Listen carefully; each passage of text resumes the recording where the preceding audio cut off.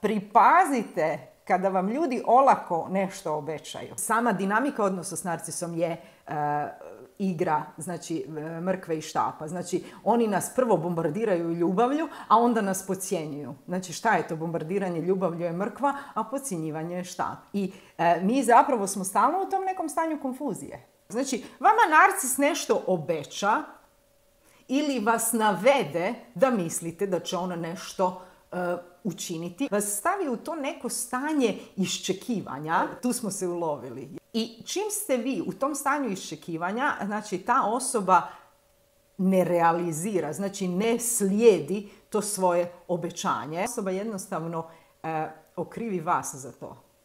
Bi ja, ali da ti, da ti nisi napravila to i to. A sada evo neću. Pa šta sam ja sad loše napravila? Vi ostanete zbunjeni, budete povrijeđeni, budete ljuti i budete na neki način posramljeni. Prazna obećanja. Mi smo ovisni o tim obećanjima. Mi znači, to su ljudi koji vas dobro poznaju, procijene što vam je vrijedno, što vam znači, e, na neki način će vas staviti u stanje da to očekujete od njih i nikad to neće napraviti.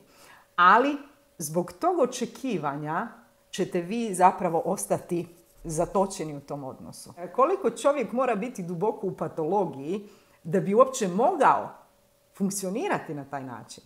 Uvijek sa ovim ljudima uopće nemojte slušati šta govore, jer ti ljudi su droljasti.